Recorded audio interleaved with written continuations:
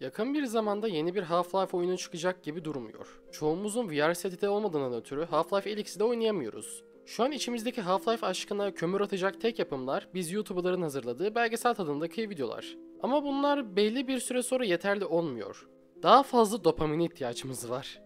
Half-Life oyunları sadece kurduğu harika evrenle ya da oynanışının yarattığı devrimle değil, aynı zamanda modlarıyla da meşhur yapımlardır. Day Hunger, Afraid of Monsters, No More Room in Hell, Cry of Fear tarzında bambaşka oyuna dönüşen yapımlar olsa da bugün değineceğimiz modlar saf Half-Life deneyiminizi geliştiren ya da Opacing Force tarzında genişleme paket edasıyla hazırlanmış Half-Life modları ile ilgili olacak. Video boyunca birden fazla mod önereceğim. Tüm videoyu izleyip ilginizi çekenlere not almayı sakın unutmayın. Bu modları da ModBD sitesinden tek tek de kolayca indirebiliyorsunuz. Olur da video hoşunuza giderse lütfen beğenip yorum atıp algoritmaya destek olmayı eksik etmeyin. O zaman hadi dostlar, uyanın ve yıkımı hissedin.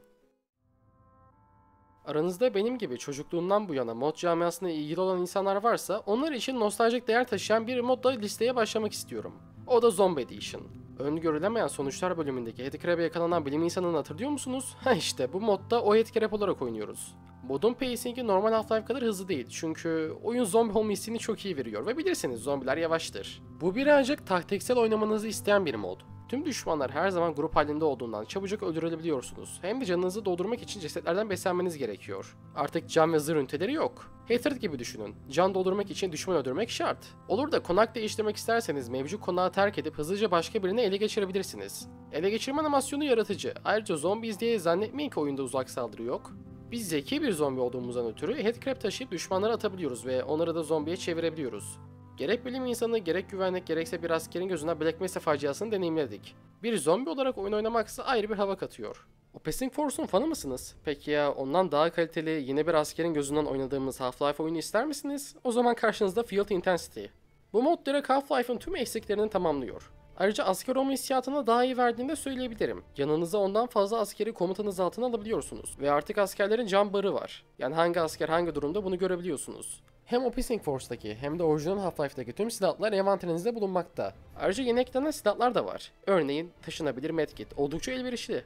Half-Life 1'den çıkarılan, iptal edilen tüm düşmanlar da oyuna eklenmiş durumda. Oyun için yaratılan özel düşmanlar da var. Bayağı fazla düşman çeşitliliği var anlayacağınız. Mevcut düşmanlarımız ise güncellenmiş. Mesela Black Ops askerleri size flashbang atabiliyor. Ya da inşaat çalışanı zombi gibi farklı zombi varyasyonları var. Tüm bu çeşitliliğin yanında da orijinal Half-Life aratmayacak kadar kaliteli bölüm dizaynları oyunda bulunmakta. En çok ilginizi çekecek şey ise bu oyunun hikaye anlatımı. Oyun boyunca arkadaşımız Kevin Levin ile telsizden konuşuyoruz ve beni duygulandırmayı bile başardığı bir sahne var. Bir de şu anda görüntülerini koymayacağım lakin oyun baştan sona fan servis kaynıyor. Tanıdık yüzler ve mekanlar görmek bu modu ayakta alkışlama isteği uyandırıyor. Bakın sizin kafanızda bir levye dayayabilirim. Bu modu oynayın. Half-Life Echoes, sıradan kravatlı önlüklü bir bilim insanı olarak oynadığımız bu mod, silah ya da düşman çeşitliliği olarak başarılı olmasa da bölüm dizaynı olarak çok başarılı. Evet ya bu Half-Life oyunu dediğimiz puzzle'lardan tutun, ordunun Black Mesa'ya giriş anı gibi önemli anlara şahit oluyoruz. Hazırlanmış sahnelerin sunumu oldukça kaliteli ve fazla. Ayrıca orijinal oyunun boş ve ruhsuz hissettiren koridorları artık yok. Çevre dizaynı çok estetik, ışıklandırmayı çok iyi kullanmışlar. Kafeteryalardan tutun dış alanlardaki yangınlarla beraber haritada canlılık var. Çoğunlukla askerlere karşı mücadele ediyorsunuz. Elbette ki oyunda uzaylılar ve Black Ops'lar var lakin onlarla mücadele ettiğiniz kısımlar oldukça az. Brutal Doom'u biliyor musunuz? Hani zaten vahşet seviyesi yüksek olan oyunun vahşet seviyesini daha da arttıran moddan bahsediyorum. Düşmanların parçalanması, duvarlara ve yakınımıza kan sıçraması, silahların güncellenmesi, yakın dövüş animasyonları... Hey işte, biri bu modu görüp de ben neden bunu Half-Life'e uygulamıyorum, bunu yapabilecek tek kişi benim diyerekten Brutal Half-Life'i yaratmış. Eğer Half-Life'ı tekrardan bitirmek istiyorsanız bu modu şiddetle tavsiye ediyorum. Beni bilen bilir, ben oyunlarda vahşet görmeyi çok severim.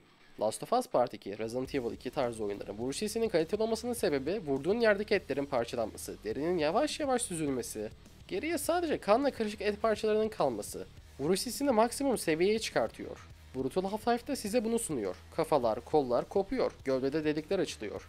Hem silahınıza hem de duvarlara kanlar sıçrıyor. Karakterlerin kaskları havaya uçuyor. Tüm görsel efektler ve animasyonlar güncellenmiş. Yenilik olarak ise artık oyunda tekme atma mekaniği var. Düşmanları kısa süreliğine sersemletmemize yarıyor. Ayrıca sayısı çok fazla olmasa da Opacing Force ve Doom'daki silahların yarısı burada duruyor. Ben Doom Eternal oynarken HUD ekranını kırmızı yapmıştım. Beni bilen bilir, kırmızı renge taparım. Brutal Half-Life'da da tüm göstergelerin kırmızı olması hoşuma gidiyor. Ayrıca göstergeler çok daha belirgin ve büyükler, özellikle nişanga. Ama siz dersiniz ben vahşet sevmem, bana farklı bir şeyler sun. O zaman karşınızda Half Pain. Arkadaşlar ben büyük bir Max Payne fanıyımdır. O insanın içindeki karanlığa kömür atan noir atmosferi, bitmek bilmeyen aksiyonu, bullet time mekaniği ve Max Payne'in depresif insanı bir şeyleri sorgulamaya iten alıntılarıyla beraber benim kalbimi fethetmiş bir oyundur. Ayrıca bir gün bir saatlik bir belgeselini de yapacağım. Onu da söyleyeyim. Half Payne ise bildiğimiz Max Payne'e Half-Life aktarıyor. En göze batan özellik kesinlikle bullet time mekaniği. Uzaylılarla savaşırken zevkli olmasa da askerlerle savaşırken bu mekanik oyuna bambaşka hava katıyor. Maalesef ki çift tabanca hariç yeni düşmanlar ya da yeni silahlar yok. Ama en büyük yenilik şu. Artık cam ve zırh üniteleri oyunda yok. Onun yerine etraftan bulduğunuz hapları manuel olarak oynanış esnasında tuşa basarak sizin kullanmanız gerekiyor. Anlayacağınız Half-Life bolca hasar aldığınız bir oyun olduğundan ötürü bu mod oyunu daha zor yapıyor. Açıkçası ben Half Payne'i bir challenge olarak görüyorum. Gözünüz sürekli sol alttaki haplara kayıyor. Eğer hapınız yoksa öldünüz demektir. O yüzden oynarken bolca save almayı unutmayın. Ayrıca artık HEV zırhınız yok.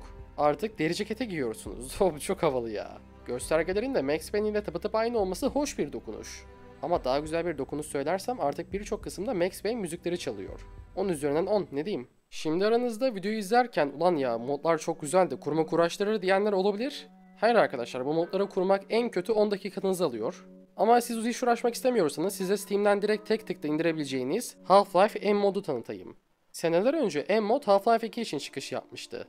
Hatta 2 sene önce yaptığım şu anda katıl abonelerine özel olan Half-Life 2 videomda M-Mod'u kullanmıştım ve oynanış zevkim çok artmıştı. Aynı yapımcı Half-Life 1 için M-Mod geliştirme kararı almıştı. Seneler süren geliştirmenin ardından yaklaşık 3 sene sürdü. M-Mod çıkış yaptı. Ben bu modu direkt çıktığı gün bitirmiştim. M-Mod sizin orijinal Half-Life deneyiminizi sadece daha da geliştiriyor. Oyunu özünden uzaklaştırmıyor. Oyundaki tüm görsel materyaller, ışıklar ve patlamalar güncellenmiş durumda.